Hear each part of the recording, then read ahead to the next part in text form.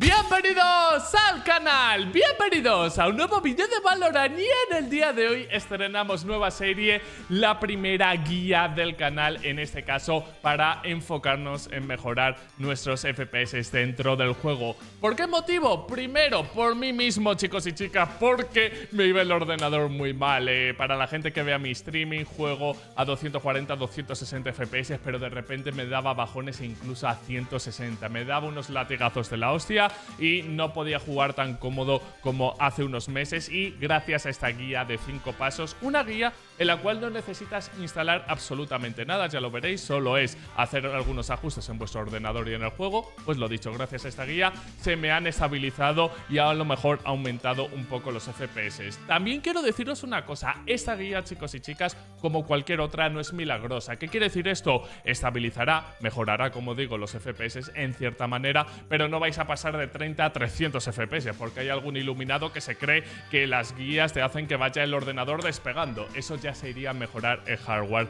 Así que, lo dicho chicos y chicas, lo he hecho por mí mismo, también por vosotros, y espero de corazón que os sirva. Primero chicos y chicas, vamos a seguir un par de recomendaciones del Tito Tenz, unas recomendaciones que sirven para todos los juegos y que hará que Valorant nos vaya mejor. Para ello lo que vamos a hacer es deshabilitar la optimización de pantalla completa. Le damos clic derecho sobre Valorant, propiedades, compatibilidad y dar clic sobre deshabilitar la optimización de pantalla completa. Damos clic en cambiar configuración de DPIs y chequen invalidar DPI y lo dejamos en aplicación. Esto que hemos hecho sirve para evitar el input lag e incluso es algo que recomienda la misma web de Riot como estaréis viendo ahora mismo en pantalla. Y ahora vamos con la configuración de gráficos, vamos a hacer que nuestro ordenador le dé prioridad al juego. En Windows vamos a buscar GPU y vamos a activar ambas opciones que sirven para la reducción de latencia. Luego vamos a examinar, clic al disco C, Riot Games, Valorant y lo agregamos. Otra vez lo mismo y ahora le damos a Shooter Games, Binaries, Windows 64 y agregamos el Valorant. Por último, añadimos el cliente de Riot.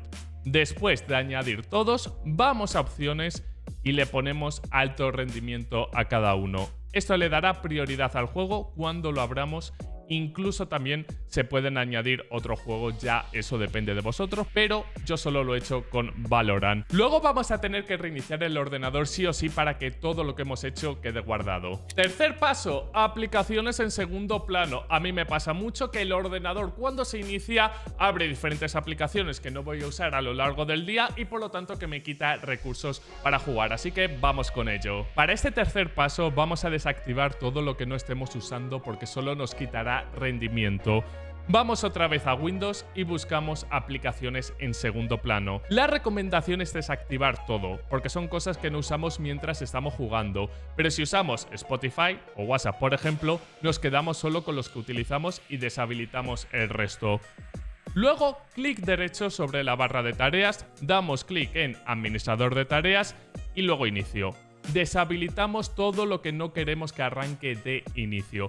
No significa que luego no lo puedas abrir, simplemente lo deshabilitamos para que no inicie cuando usamos el ordenador. Igualmente, en la barra de tareas vamos a darle a esta flecha y cerramos todo lo que no estemos usando, como el Epic o el Steam, que al tenerlos abiertos también influirá en el rendimiento del juego. Por último, en el buscador vamos a poner modo de juego y vamos a activarlo. Aquí mismo vamos a Xbox Game Bar y la vamos a desactivar, que esto quita muchísimo, muchísimo rendimiento. Cuarto paso, chicos y chicas, panel de Nvidia. Como dice su nombre, esto solo eh, se podrá utilizar si tenéis la gráfica Nvidia. Si tenéis otra, yo ahí ya no me puedo meter. Ahora vamos a hacer algunas mejoras desde nuestra tarjeta de vídeo. Esto solo vamos a hacerlo si tenemos una gráfica Nvidia. Damos clic derecho sobre la pantalla y abrimos el panel de control de la tarjeta de vídeo. Damos clic en la primera opción y check en la segunda opción del modo avanzado 3D. Ahora en el controlador de configuración vamos a buscar frecuencia de actualización, que son los hercios, y seleccionamos la más alta disponible. Debajo, en renderizado de GPU, seleccionamos nuestra tarjeta de vídeo. Más abajo buscamos modo baja latencia y lo activamos, que también más adelante lo activaremos en el juego. Por último, buscamos modo de control de energía y seleccionamos máximo rendimiento preferido. Otra cosa que debemos revisar sí o sí en pantalla es tener activados los hercios que tiene tu monitor. A veces ocurre que tienes activados los 60 Hz cuando tu monitor es de 144, 240, 360 y 540 Hz, chicos y chicas. Que una cosa, si yo consigo un ordenador que me vaya a 540 FPS, me voy a comprar ese monitor. Decidme en los comentarios si os gustaría que hiciera algo al respecto porque he visto vídeos de Tens que lo ha probado y dice que va de maravilla. Seguimos con la guía. Y ahora, quinto y último paso, ajustes del juego, que esto para los más vagos que no quieran hacer el resto esto, también nos ayudará. Dentro del juego vamos a irnos a los ajustes de vídeo. Aquí lo que vamos a verificar es tener el modo pantalla completa. Evita el modo ventana porque eso solo genera input lag.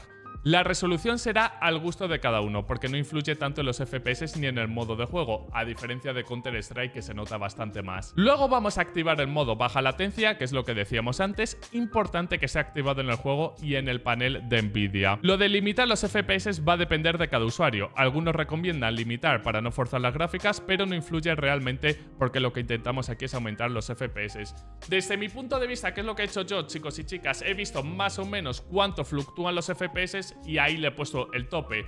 ¿Por qué digo esto? Porque si pongo que el juego vaya a 400 FPS y de repente me pega el latigazo a 180, eso va a ser que la experiencia sea horrible. Por lo tanto, un punto intermedio yo lo he puesto en 260-300 FPS y me va bastante más constante. Y por último, chicos y chicas, vamos a calidad de gráficos y lo único que vamos a tener activado es el renderizado multinúcleo. El resto en desactivado y en bajo en antisolapamiento 4X y en el otro también 4X. Sobre el resto depende también de cada usuario. Podemos tenerlo todo desactivado o activar solo lo que queremos, ya que no afectará en los FPS.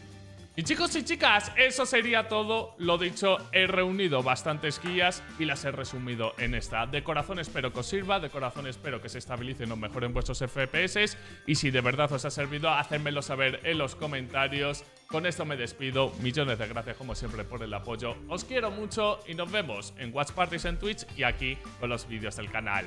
¡Chao, chao!